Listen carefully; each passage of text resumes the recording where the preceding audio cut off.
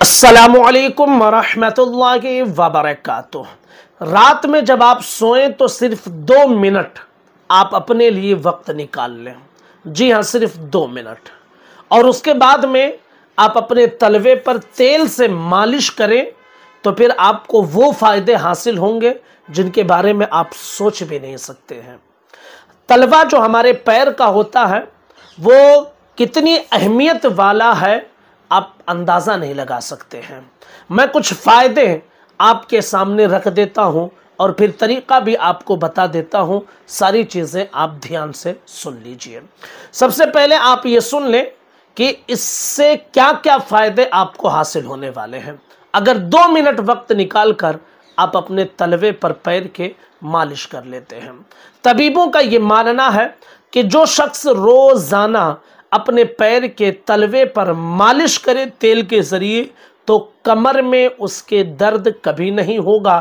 حتیٰ کہ بڑھاپے کے عالم میں جب وہ پہنچ جائے گا تو بہت سارے لوگ جو بڑھاپے میں پہنچ جاتے ہیں کمر ان کی جھک جاتی ہے۔ انشاءاللہ العزیز، اس شخص کے ساتھ ایسا کوئی پرابلم بڑھاپی کی عمر میں بھی نہیں آئے گا۔ آج بہت سارے نوجوان ایسے ہیں کہ جوان ہی رہتے ہیں اور کمر درد کی شکایت شروع ہو جاتی ہے۔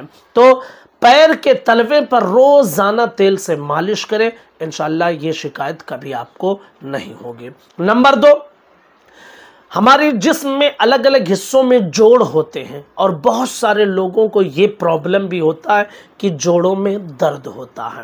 تو اس کے حوالے سے ماہرین یہ مانتے ہیں کہ رات میں سوتے وقت اگر انسان پیر کے تلوے پر مالش کر لے تو اس کے جوڑوں میں درد نہیں ہوگا۔ نمبر تین، اگر کسی شخص کو مسلسل سر میں درد رہتا ہے، سر درد کی شکایت ہے، تو پھر اپنے پیر کے تلوے میں تیل سے مالش کریں یہ جو سر درد کی شکایت ہے، اس کے لیے آپ کو میڈیسین وغیرہ کھانے کی ضرورت نہیں پڑے گی۔ سر درد کی شکایت یوں ہی ختم ہو جائے گی۔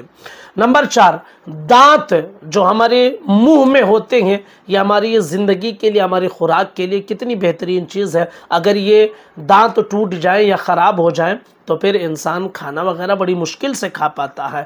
تو دانت کے اندر مضبوطی ہوگی، مسوڑوں میں مضبوطی ہوگی اور ساتھ ہی ساتھ جب بڑھاپے کے عالم میں انسان پہنچے گا تو بہت لمبی عمر تک اس کے دانتوں میں کوئی کمی نہیں پائی جائے گی۔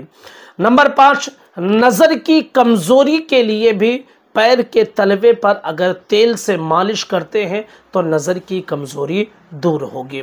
نمبر چھ، نیند اگر کسی شخص کو نہیں آتی ہے کوئی پرابلم ہے یا پھر اس شخص کو سکون کی نیند نہیں آتی ہے، تو پیر کے تلوے پر تیل سے مالش کریں۔